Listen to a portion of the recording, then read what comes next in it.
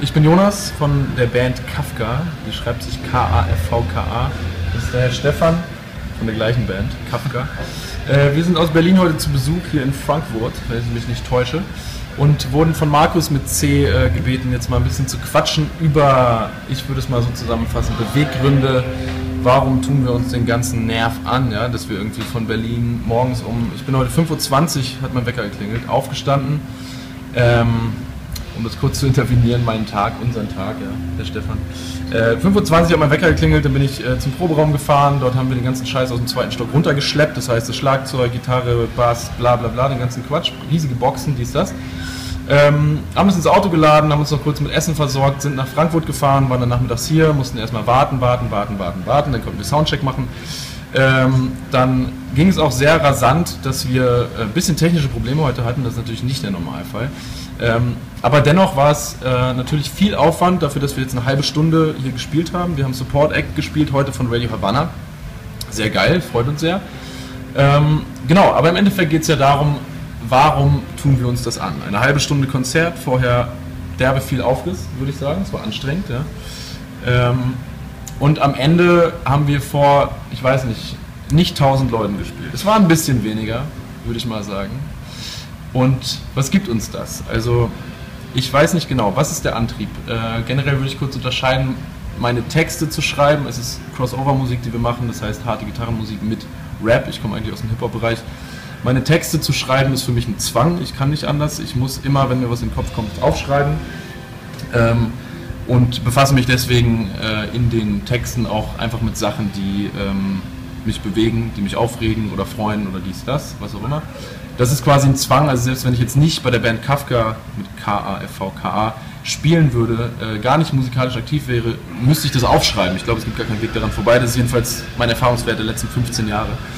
Und ähm, mit der Band gemeinsam ist es, äh, was wir auf der Bühne erleben, eine ganz große Energie, die da passiert auf jeden Fall, die uns, glaube ich, allen Adrenalin gibt auf jeden Fall. Also es ist auch krass zu beobachten, bei egal wem aus der Band, egal wie scheiße man vorher drauf ist oder wie müde oder kaputt man ist oder so, sobald, es, sobald wir im Kreis stehen und irgendwie so ein bisschen einschwören und uns ein bisschen körperliche Energie auch geben natürlich, ähm, und wir dann auf die Bühne gehen, pusht es. Also da ist was da, egal auf wie viele Leute vorne stehen, nicht ganz egal, wenn es 1000 Leute sind, ist, mehr. Ja. Bei heute unter 1000 ist es leicht weniger, aber hat immer noch sehr viel Spaß gemacht trotzdem und macht immer wieder Spaß. Und ähm, ich glaube, am Ende geht es auch gar nicht darum, dass wir jetzt irgendwie neue Facebook-Likes kriegen, wie durch dieses Video hoffentlich, sonst würden wir es natürlich überhaupt nicht machen. Ja. Es geht nämlich nicht mehr um Money. Ich meine, das Format spricht ja von Money, von Geld, sondern es geht natürlich auch viel um Klicks, um Aufmerksamkeit.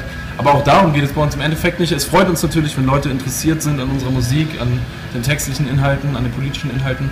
Aber ich glaube, das ist einfach so ein, tja, wie kann man das beschreiben? Ich weiß nicht. Hast du ein Wort dafür vielleicht? Leidenschaft. Oh, Leidenschaft. Großes Wort, Passion. Ja? Aber das trifft es tatsächlich gut. Es klingt so klischeemäßig, die leidenschaftlichen MusikerInnen, aber ich glaube, das, das trifft es sehr gut. Ja. Gut, gut, dass wir das zusammen machen. Das Interview auf jeden Fall. Ähm, das funktioniert, wie gesagt, viel über Adrenalin, viel über Energie und natürlich auch das Feedback, was Menschen uns vor der Bühne zurückgeben und was sie uns auch nach dem Konzert geben, im Gespräch, am Merchstand oder wenn Sie, wenn Sie äh, eine CD kaufen. Unser neues Album ist heute erschienen, by the way. Äh, es heißt Hände hoch. Ähm, und ja, wenn es einfach irgendwie eine positive, ein positives Feedback gibt, fühlt sich das natürlich total gut an, weil wir, keine Ahnung, jede Woche mindestens zweimal abends äh, neben unseren Jobs, die wir natürlich haben, äh, uns abends im Proberaum treffen und das Set proben für einen Auftritt wie heute, für unter 1000 Leute. Ähm, oder auch für größere Auftritte natürlich. Aber wir stecken derbe viel Zeit rein, wir stecken derbe viel, keine Ahnung, wir labern alle unsere Freundinnen voll, ne? Freundinnen und Freunde natürlich, äh, mit dem ganzen Quatsch und ähm, tja, am Ende ist es wahrscheinlich die Leidenschaft, die irgendwie das bringt. Und es ist auch für mich, also auch beim musikalischen, beim gemeinsamen Spielen, wie bei den Texten, so eine Art Zwang. Also ich wüsste jetzt nicht mhm. genau, wo ich die, wo ich die Energie sonst, sonst rauslassen sollte. Ja, und äh, Scheiß auf Geld sowieso ist ja Thema in diesem Format. Ähm, hast du dir auch wen ausgesucht, der, der dir da total zustimmt, Markus mit C? Äh, das Geld einfach derbe, also für mich jedenfalls derbe unwichtig ist, für Herrn Stefan glaube ich genauso. Genauso, weil, ähm, weiß ich nicht, was, was bringt es im Endeffekt, ja, also es gibt die Möglichkeit zu konsumieren, natürlich sind wir alle so sozialisiert, jedenfalls die Leute, die hier aufgewachsen sind, so sozialisiert, dass es uns eine gewisse Befriedigung gibt, wenn wir Dinge konsumieren, ob das jetzt Kleidung ist, ob das irgendwie ein Telefon ist oder, oder sonst was. Das ist anerzogen, da, da kommt man auch schwer raus. Ähm, ich persönlich, kann ich jetzt nur für mich sprechen, mache das seit Jahren so, dass ich äh, keine neuen Dinge konsumiere, sondern nur gebrauchte Dinge. Das so ein bisschen in der globalen Wirkung äh, beeinflusst natürlich. Also wenn ich äh, mir nicht immer ein neues Billig-T-Shirt von Primark oder H&M kaufe, kann ich sagen, ich habe meine Finger da nicht drin, wenn, wenn Leute in der Fabrik irgendwie sterben oder, oder wenn sie ein Scheißleben haben, wenn sie sechs, sieben Tage die Woche irgendwie zwölf Stunden arbeiten gehen für einen Scheiß, für einen Scheißlohn. Ähm, da kann ich jedenfalls für mein eigenes persönliches Gefühl ein bisschen was ins Positive verändern. Ähm, wobei man auch da, finde ich, aufpassen muss, da nicht dogmatisch zu werden. Also ich will damit auch eigentlich niemanden voll labern. Jetzt in diesem Format mache ich das gerade mal, weil das irgendwie sich so anbietet.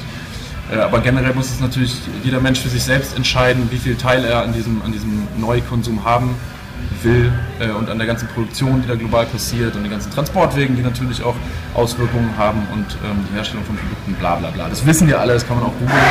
Die Menschen, die das gucken, sind gerade auf, äh, auf YouTube. Servus.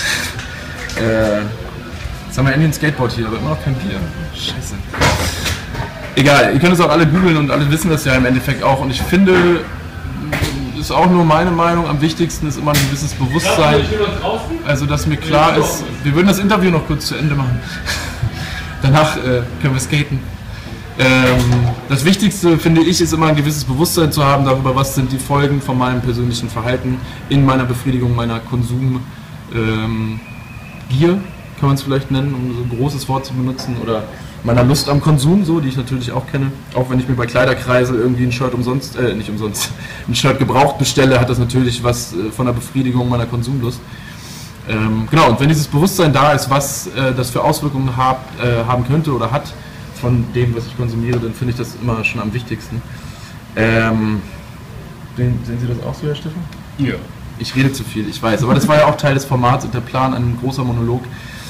Äh, wie gesagt, wir äh, sind eine Band aus Berlin, wir spielen Crossover, voll wie in den 90ern so. Ihr wisst, äh, ja, harte Gitarren und Rapmusik. Heißen Kafka, wir schreiben uns K-A-F-V-K-A. Liked uns, liked Markus mit C und äh, sprecht uns nicht an. Doch, spricht uns an. Peace.